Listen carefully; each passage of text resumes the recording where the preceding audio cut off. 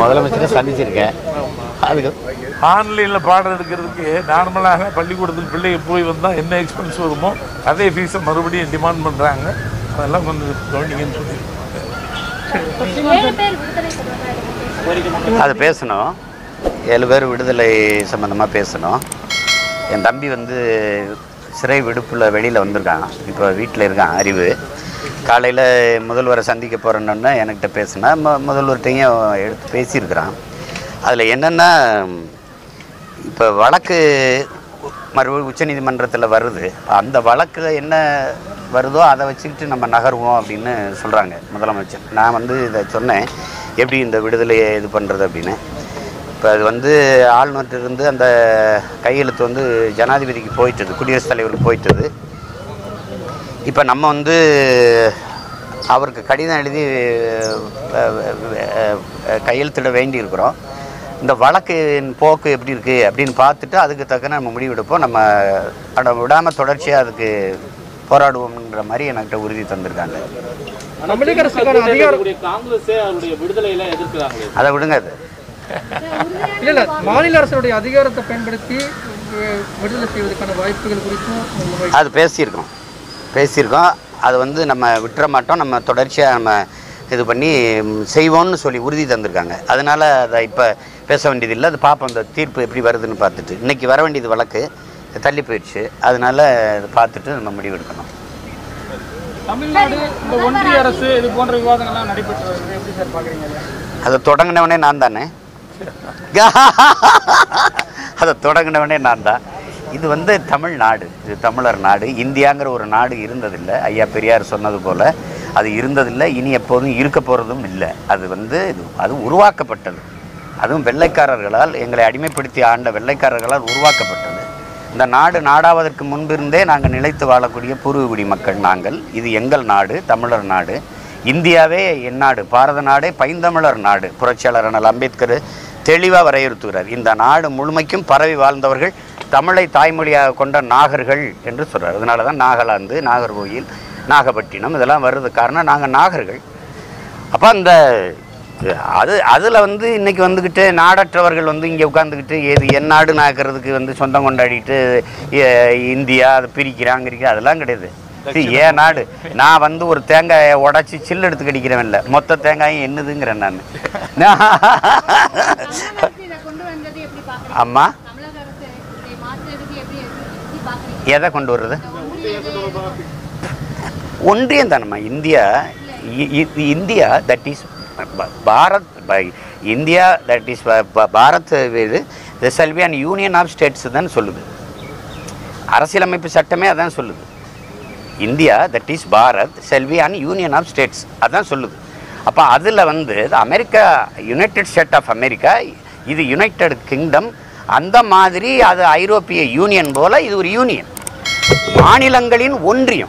நீங்கள் மாநிலங்கள் அவை எதுக்கு வைக்கிறீங்க?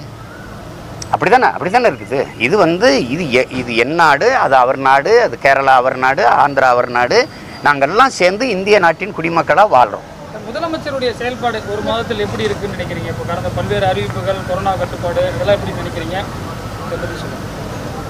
அது சரியாக இருக்குது சரியாக இருக்குது எல்லா துறையிலையும் வேகமாக இயங்குறாங்க. குறிப்பாக மருத்துவத்துறையில் அந்த மாசு நல்லா இயங்குறாங்க. எல்லாருமே நல்லா இயங்குறாங்க. அவங்களுக்குலாம் நான் அழைச்சி பேசி வாழ் சொல்லிட்டு தான் இருக்கேன். இயங்குறாங்க. இப்போ வந்து இந்த பதவியேற்ற உடனே அஞ்சு ஃபைல் கையெழுத்து போட்டாரு. உடனே தமிழகத்தை தாங்கி பிடிக்கிறதுக்கான சக்தி இந்த கொரோனாவை வந்து கட்டுப்படுத்துறதே பெரிய போராட்டமாக இருக்குது இப்போ நம்ம நமக்கு வந்து இப்போ எல்லாத்தையும் விட உயிர் பாதுகாப்பு முதன்மையானதாக இருக்குது. ஹேண்டில் பண்றாரு இந்த வயசுல is got so much maturity அந்த down to earth down with us ஒரு ஒரு ரொம்ப நாளைக்கு அப்புறம் நிறைய அமைச்சர் வந்தான் பட் இந்த வயதில் இவ்வளவு மெச்சூரிட்டியாக தமிழகத்திற்கு பிரமாதமாக செயல்பாடுகளை வரையறுத்து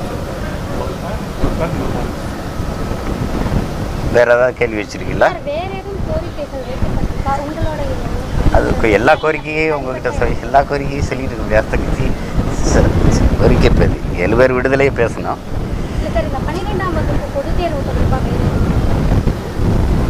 அதை அதை யோசிச்சுக்கிட்டு இருக்கோன்றாங்க. அது நடத்துகிறதா வேணாமா? மதிப்பெண்களை எந்த அடிப்படையில் நம்ம இது பண்ணுறது அது சொன்னாங்க. அவங்களே சொன்னாங்க. அதை யோசிச்சுக்கிட்டு இருக்கோம். ஏன்னா ஏன்னா நமக்கு வந்து எல்லாத்தையும் விட நம்ம பிள்ளைகள் உயிர் முக்கியம்.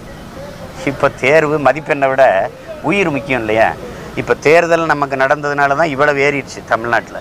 இந்த தேர்தலால் தான் தேர்தலை ஓ, நம்ம கூட்டம் போட்டு மாஸ்க்குனா என்ன அது போடாமல் என்னையெல்லாம் வந்து ஒருத்தன் வந்து நமக்கெல்லாம் ஒன்றும் பண்ணாதானே கொரோனாலாம் ஒன்றும் கிடையாதுனேன்ட்டு செல்ஃபி எடுப்போம் வா கட்டி பிடிப்போம் வா, இப்படி பண்ணி தான் இவ்வளவு சிக்கல் எடுத்து விட்டாங்க. அது.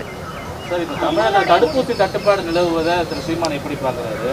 தடுப்பூசி ஒரு விழிப்புணர்வு மக்கள்கிட்ட அதிகரிச்சிருக்கும் தடுப்பூசி கிடைக்காம நிறைய பேர் இப்போ இல்லையே இன்னைக்கு அறிக்கை விட்டுருக்காரு. தடுப்பு இல்லை.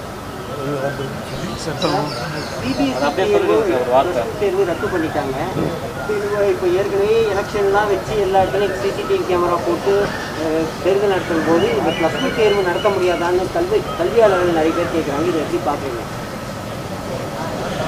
இது கேள்வி யார் வேணாலும் கேட்கலாம். ஆனால் உ- உயிர் வந்து மிக உன்னதமானது. அது வந்து நம்ம தான் பொறுப்பேற்கணும். நம்ம பிள்ளைகளுக்கு ஏதாவது ஒன்று அப்படின்னா கூட்டமாக உட்காந்து எழுதுகிற இடங்கள்ல அதில் நோய் தொற்று வந்து பாதிக்கப்பட்டுட்டா யார் பொறுப்பேற்பா இந்த ஆண்டு இல்லைன்னா அடுத்த ஆண்டு எழுதிட்டு போகிறாங்க ஓராண்டு பின்னடைஞ்சால் என்ன ஆயிருப்போகுது அது எல்லாத்துக்கும் மேலானது உயிர் இல்லையா? அதனால் சிலர் பேசுகிறாங்க வைக்கிறாங்கங்கிறதுக்கெல்லாம் அதையும் நாங்கள் பேசணும். முதல்வர்கிட்ட சொன்னோம்.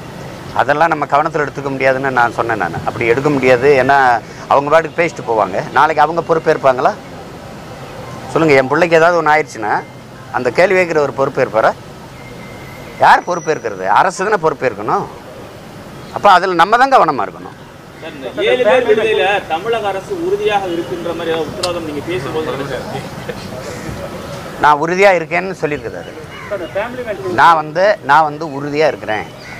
ஏழு பேர் விடுதலையில் நான் உறுதியாக இருக்கிறேன் அப்படின்னு எனக்கு உறுதி தந்திருக்காங்க.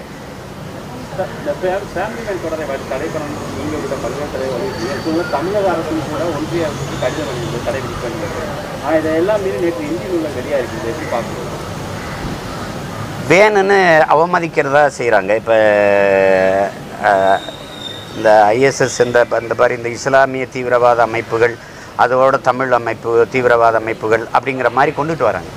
அதாவது இதில் என்ன அவங்க அவங்க கட்டமைக்கிறது பிஜேபி அரசு என்ன கட்டமைக்க நினைக்குது அப்படின்னா அது எங்கே கால் உண்ட முடியலையோ அதையெல்லாம் பயங்கரவாதம்னு அடிக்க பார்க்குது எங்களை. அப்போ அதுதான் வந்து யோசிக்கணும். இப்போ நாங்கள் வந்து ஹிலாரி கிளின்டனே சொல்கிறாங்க நாங்கள் வந்து பயங்கரவாத இயக்கமே அல்ல தீவிரவாத இயக்கம் அல்ல. அது ஒரு இன விடுதலைக்கான போராட்ட இயக்கம் அப்படின்னு ஹிலாரி கிளின்டன் சொல்கிறது இந்தியாவுக்கு தெரியாதா தெரியாதா? தெ- தெரியுமா? தெரியாது. நாங்கள் எதுக்காக போராட தொடங்கினோம் ஒரு சிங்கள அரச பயங்கரவாதத்தை கண்டிக்க துப்பற்ற இந்த இந்த நாடு தன்னாட்டு குடிகளிலேயே எண்ணூற்றி நாற்பது பேருக்கு மேலே மீனவர்களை கொண்டொழிச்ச இந்த சிங்கள அரசை கண்டிக்காத இந்த நாடு எங்களை வந்து பயங்கரவாதிகள்னு இந்த தொடரை எடுத்துக்கிட்டு அதை அனுபவிச்சுக்கிட்டு அது வேலை செய்யுது. அதில் அதில் வந்து நாங்கள் என்ன நாங்கள் என்ன பண்ணுவோம் இந்த- இந்த லிங்கம் சொல்கிற மாதிரி தான் குற்றம் குறை கூறுவர்களை புறந்தல்ல கற்றுக்கொள்ளுங்கன்ட்டு போடா அப்படின்ட்டு போயிட்டு இருக்கோம் அவ்வளோதான் நீ பேச்சு போடா அவ்வளோதான் பல்வேறு விமர்சனங்களுக்கு இடையே அவர் நீங்க முதலமைச்சரை அந்த சந்திச்சிருக்காரு நீங்களும் இந்த ஒரு சந்திச்சிருக்கீங்க. அந்த சந்திப்பு எப்படி பாக்குறீங்க சந்திப்பே வந்து ம ம இப்போ ம எப்படின்னு சொல்கிறது